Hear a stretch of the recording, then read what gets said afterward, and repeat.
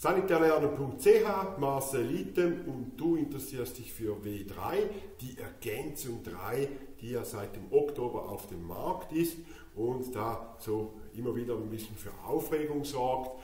Und ich habe mir mal gedacht, na, ich mache mal ein Video darüber, habe die W3 E3 mal durchgesehen und habe für mich mal nachgeschaut, was gibt es denn jetzt echt für Änderungen an sich für die Baustelle oder was muss man vielleicht beachten wenn man eben äh, nach dieser neuen W3 E3 installiert, was wir ja mehr oder weniger alle machen. Ganz klar ist, je, äh, mal, je kleiner ein Objekt ist, je ländlicher die ganze Geschichte gemacht wird, wird es noch ein Weilchen dauern, bis sich das vielleicht durchsetzt. Aber wenn man natürlich irgendwo in öffentliche Gebauten hineingeht etc., dann gewinnt das Dach dann sehr, sehr schnell äh, an Gewicht. Nun, wie gesagt, ich habe es mal probiert auseinanderzunehmen. Ich habe hier keinen Anspruch auf Vollständigkeit. Äh, ich habe bewusst nur die Punkte rausgenommen, wo ich gefunden habe, ja, für einen Installateur, vielleicht einen Unternehmer, einen kleineren Betrieb, der selber plant, was, was ist jetzt hier wirklich relevant, wo müsste man vielleicht die Geschichte im Hinterkopf haben, dass man vielleicht auch ja, ein bisschen parat ist, wenn mal irgendwas in der Hinsicht geschieht oder vorfällt. Nun, grundsätzlicher Hinweis, und das kennen wir ja schon mit der neuen Druckprobe, wo wir mit Luft abdrücken, der Leitungsinhalt sollte alle 72 Stunden erneuert werden, mit dem Ziel, eben diese Keimbelastung, die natürlich bei stehendem Wasser entsteht, äh, zu reduzieren. Und auf diesem Grundsatz, sage ich jetzt mal, hat man dann sehr, sehr viele Regeln definiert, damit man das eben irgendwie gut in den Griff bekommt. Äh, eine erste Änderung, die mir gleich ins Auge gestochen ist, ist, dass dieser Abstand hier einer ungespülten Leitung etwas kürzer geworden ist. Wir sprechen hier von viermal dem Innendurchmesser und äh, früher, eben wie gesagt, wie haben wir das gemacht, wir haben so 30, 50 cm Maximum und jetzt haben wir natürlich hier schon Innendurchmesser, sage ich jetzt mal von einem Nasslöschposten, CNS35, äh, ja, 3x4, 12, 15, maximal 15 cm darf dieses Leitungsstück noch sein, äh, damit wir hier in der Norm drin sind. Dann ebenfalls eine gute Neuerung finde ich, eigentlich auch eine clevere Überlegung, unabhängig äh, von dieser W3 E3 äh, ist, dass man viel gebrauchte Apparate eher an den Schluss des Verteilers montiert. Also das heißt beim Einlegen, dass man sich schon überlegt, aha, das ist die Küche und dass man die vielleicht eher auf den hintersten Punkt des Verteilers zieht, damit man dann dort eben auch eine gute Durchspülung des Balkens hat, weil es kann natürlich schon sein, dass wenn man jetzt so hinterst da irgendwie ein Separat-WC hat in einer Gewerbezone, was nie vermietet ist, dass man dann dort wirklich eine relativ schlechte Durchspülung hat und äh, dann auch hier entsprechend dann eben Probleme mit der Hygiene bekommen könnte. Ebenso als noch neu ist auch, dass man, oder ich habe es zumindest mal nicht gewusst vorher, aber ich bin jetzt auch nicht der Obernormenleser, Spezialist, äh, und zwar, dass man nach 30 Sekunden, wenn man den Hahn öffnet, maximal 25 Grad haben darf bei der Kaltwassertemperatur. Also das heißt, es kann ja schon mal sein, dass man am Anfang vielleicht ein bisschen wärmer hat. Ich sage jetzt auch mal in einem Umbau, äh, wenn da halt irgendwie mal noch eine Heizungsleitung nebendran kommt. Aber dann so nach 30 Sekunden, dann sollte dann wirklich kühles Wasser kommen, damit man hier wirklich eine gute Spülung hat. So interpretiere ich das auf alle Fälle. Dann äh, ebenfalls noch wichtig ist, auch wenn man etwas größere Objekte baut, Ups, muss ich ein bisschen rüberschieben. So.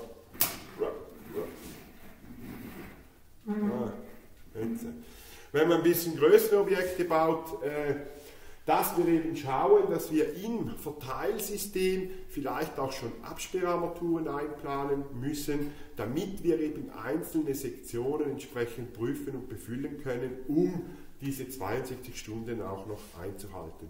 Und ich denke, es ist auch wichtig, dass man weiß, dass man das eventuell auch dem Bauherr dann noch verrechnen könnte, wenn das vergessen worden ist in der Planung. Also das ist sicher eine Aufgabe von äh, Ingenieurbüros und Sanitärplaner, dass man hier, ich sage jetzt mal, so ein Druckkonzept erstellt und ein Inbetriebnahmekonzept ein bisschen, damit man hier eben diese Normen einhalten kann und diese ganze Geschichte gut über die Bühne geht.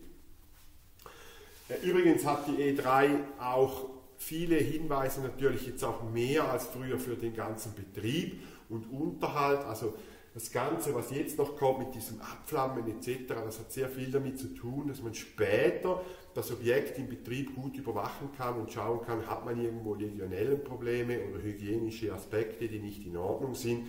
Und dafür bauen wir an sich diese Anlagen. Sicher schon mal gehört, vielleicht noch nie gesehen. Ich habe jetzt mal eins bestellt hier bei der Firma Nussbaum. Äh, das sind diese Entnahmeventile, die sehen an sich, wenn man hier mal alles ein bisschen abschraubt, äh, sind das Huns Kommune Entleerventile. Und diese Entleerventile, die haben hier unten einfach eine flache Dichtungsfläche hier, flach dichten. Und dann kommt hier diese metallische äh, Übergang drauf. Und man hat dann hier, so wenn es klappt, so, man hat dann hier im Prinzip dieses Edelstahlröhrchen und hier vorne kann man noch die Kappe wegnehmen und das kann man dann eben abflammen äh, und das dann auch hygienisch wirklich einwandfrei machen, damit man hier auch äh, entsprechend eine hochwertige Wasserprobe nehmen kann. Das sind eben diese ominösen Probeentnahmeventile, die gibt es jetzt sicher von vielen Herstellern und die Frage ist natürlich, wo kommt das jetzt hinein?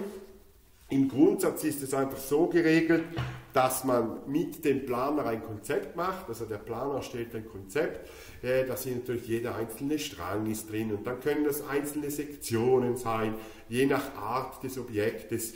Und man hat aber auch so eine Mindestanforderung definiert und die gilt eben, so interpretiere ich das zumindest mal, auch für ein Einfamilienhaus. Also Mindestanforderung ist, äh, dass man kurz nach dem Wasserzähler so ein Probeentnahmeventil einbaut, sicherlich um die Zuleitung hier äh, zu überprüfen. Auch ich denke so an die Situation, warmer Sommer, äh, Wasser steht, alles in den Ferien, dass man vielleicht hier auch mal eine Probe nehmen kann. Und ich denke aber, im gesunden Menschenverstand wird sich das dann hierhin verschieben zum Batterieventil. Das Batterieventil bei der Verteilbatterie hat ja ohnehin in der Regel schon eine Entleerung drin und da kann man dann im Prinzip einfach äh, im Bedarfsfall oder vielleicht auch schon von, von Anfang an hier dieses Probeentnahmeventil einbauen. Mindestens eines braucht es da eben nach dem Wasserzähler, würde ich jetzt in meinem Familienhaus sinnstiftenderweise auf die Kaltwasserleitung nehmen, weil im Warmwasser braucht es ebenfalls noch eins, oder zwei sogar, nämlich eines hier beim Abgang oberhalb des Wassererwärmers und falls man eine Zirkulation hat beim Rücklauf, bevor die Zirkulation wieder in den Speicher hineinkommt, ebenfalls nochmals hier ein Probeentnahmeventil. Also im Minimum zwei und äh, ja, wie gesagt, das macht irgendwie auch Sinn und das sind ja auch keine Mehrkosten, also das hat man noch im Griff und wenn mal etwas ist, kann man dann hier eben diese Proben äh, entnehmen. Ob das jetzt bei euch oder bei dir äh, so gemacht wird oder nicht, das ist an sich hinfällig, weil das ist einfach die Norm und äh, so wird, ja, würde ich das umsetzen und installieren, zumal es eine kleine Sache ist. Dann gibt es doch noch zwei Sachen, die mir ebenfalls aufgefallen ist. Einmal hier die sogenannte thermische Trennung.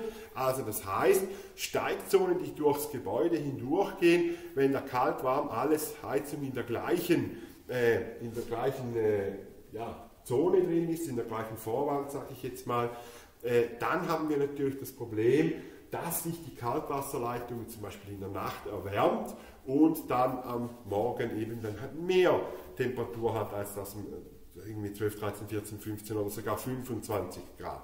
Und das ist natürlich hygienisch auch nicht ideal. Und darum hat man gesagt, wir machen hier eine thermische Trennung, wir machen Warmwasserbereiche, also Steigzone für warme äh, Medien, also das kann eben Warmwasser-Vorlauf-Rücklauf sein, könnte aber auch noch vermutlich eine Heizungs-Vorlauf-Rücklaufleitung da hinein und die Kaltwassersteigzone, wo dann eben thermisch getrennt ist und auch dafür gesorgt wird, dass das Wasser dort relativ lange kühl bleibt. Also genau.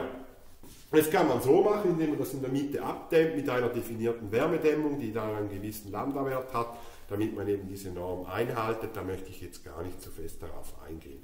Kann natürlich auch gleich von Anfang an separate Steigzonen planen, was dann immer so, also meine Überlegung jetzt mit äh, Wasserzählern, von wo kommt was in die Vorwand hinein, vermutlich dann wieder relativ schwierig ist, aber ja, das könnt ihr dann selber lösen.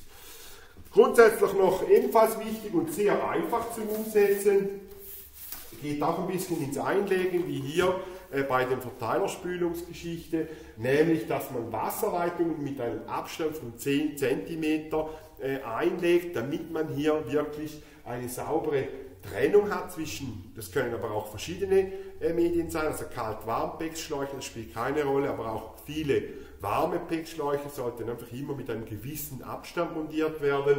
Und das hat zwei Gründe. Einerseits sollte sich das Kaltwasser nicht erwärmen, weil wir eben da hygienisch auf einem tiefen Level temperaturmäßig bleiben möchten. Und andererseits soll sich aber die Warmwasserleitung auch schnell abkühlen, damit wir eben dort auch hygienisch sofort in einen tiefen Bereich hineinkommen. Also Ausstoßleitungen sollen sich eben schnell abkühlen und Kaltwasserleitungen sollen sich nicht erwärmen und von daher macht das sicher Sinn. Wie das dann irgendwie zu handeln ist, da wenn die Verteiler dann gesetzt werden und äh, mit diesen Kästen äh, auf der Schalung, das ist ein anderes Thema. Da muss man vermutlich einfach relativ schnell da äh, auseinandergehen. Aber vielleicht gibt es da auch die eine oder andere Lösung dann äh, der Hersteller. Wir werden das mal so sehen.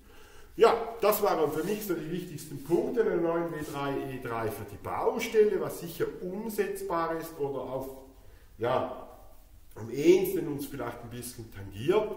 Wie gesagt, die, diese Norm ist sehr umfangreich, da hat sehr viele Verweise, Hinweise, Temperaturen etc. drin und ich habe mich jetzt wirklich mal auf das Nötigste, vielleicht auf das Minimum beschränkt. Vielleicht kommt dir noch was in den Sinn, dann hau es unten in die Kommentare rein und ansonsten vielen Dank fürs Zuhören, bis zum nächsten Mal.